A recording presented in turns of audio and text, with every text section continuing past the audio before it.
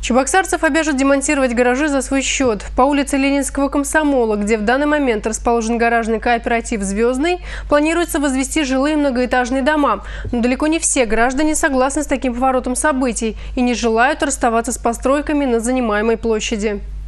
Администрация города подала исковое заявление в Калининский районный суд города Чебоксары с требованием обязать горожан за свой счет произвести демонтаж металлических гаражей и освободить занимаемые участки по улице Ленинского комсомола. Большинство автовладельцев не желают расставаться с постройками на занимаемой площади добровольно. В этом случае приставы прибегают к мерам принудительного исполнения. Если в указанный срок должник не освобождает площадь от своей собственности, сотрудники управления судебных приставов в принудительном порядке транспортируют гараж в другое место. Всего в межрайонном отделе судебных приставов с начала года было возбуждено 291 исполнительное производство. На сегодняшний день уже снесено 100 гаражей.